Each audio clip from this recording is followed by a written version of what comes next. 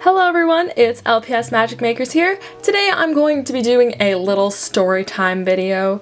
So before I start, I just want to say I'm not going to be stating the YouTuber's name um, in this video, but um, that's just for my own privacy reasons.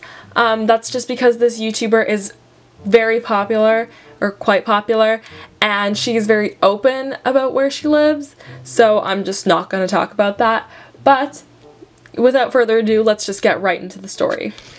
So let me start from the beginning. So my friend and I, we decided that we wanted to get a gym membership or essentially we were just at a mall and they were like, hey, you want to have a gym membership for a week? Um, and so we said yes and then we started going to the gym. Then lo and behold, we were at the gym. We had something really good going. Then it was about like our third day of us going to the gym and um, we were just using the um, equipment uh, in the corner of the gym and we were in like the women's only section of the gym because this gym had like a co-ed section then like a women's only section and so on.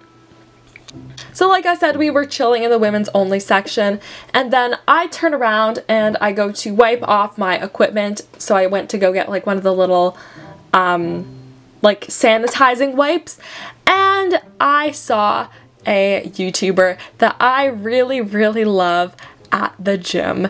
Yes, she was on, I forget what, oh, she was on the stair climber. I remember, she was on the stair climber, and I remember freaking out because I was like, oh my god, that was the stair climber I used the other day, what? But you know, like we were at the gym. I didn't want to go up to her and say hi to her because you know, if I was in her position and someone came up to me at the gym, I would be like, yo, I'm at the gym. Can you just like leave me be? So, um, my friend who I was with, she didn't know who this YouTuber was. And so I was like, yo, it's this person. And she looked her up and she was like, oh my god and we both kind of had a little freak out and we were going to the other side of the gym anyway and that's where this YouTuber was. So um, the YouTuber was on the stair climber. Um, here, I'm gonna give her a name because it's kind of weird that I'm just saying the YouTuber. Let's call her uh, Taylor. So Taylor, she was on um, the Stairmaster and I was just in the corner on the mats, you know, doing some sit-ups and stuff.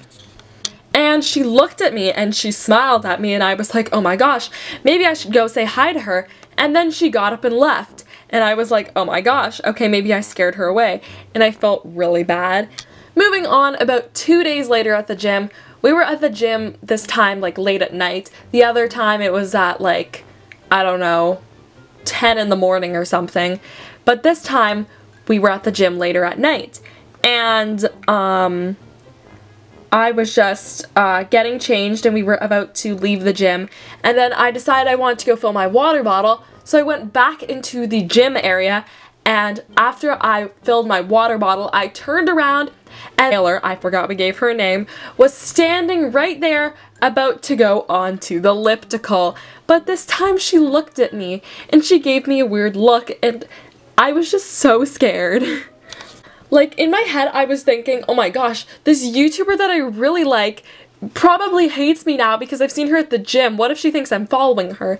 And I'm a person that has like a lot of anxiety, especially about like things that are out of my control. So I was like worrying that she was gonna hate me. So I ended up sending her a DM, which she has not opened, um, saying that I was sorry and that I was not judging her for seeing her at the gym.